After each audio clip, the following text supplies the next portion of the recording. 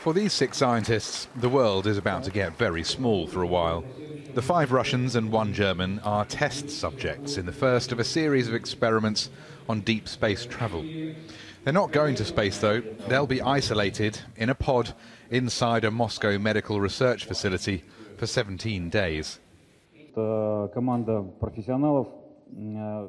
This is a team of professionals. Indeed, each of them is a professional in his own field. Altogether, we're like parts of a mosaic that creates a team, which in our Earth research mission will accomplish all the tasks that we face. After the press briefing, it was down to the hall housing the mock spacecraft. It'll be their home and laboratory for at least 50 different experiments directed at how humans might cope on flights to Mars and beyond, and limited contact with Earth. Final waves and in through the hatch. Sirius 17 will be followed by a four month mission next year, eight months in 2019, and a full year in 2020.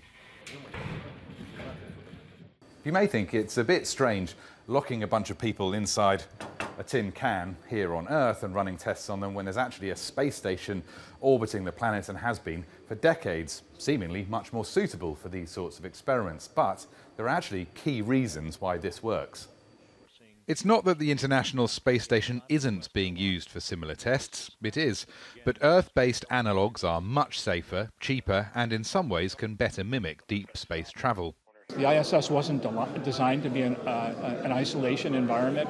It does. I mean, you're, you are isolated, but more and more, you know, crew members have a, you know, a cell phone in their pocket. They can call their friends. Uh, there's a requirement. There's a, there, there, are many thousands of commands that get sent from mission control to the vehicle uh, every day.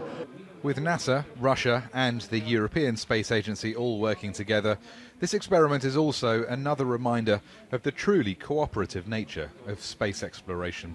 Rory Challands, Al Jazeera, Moscow.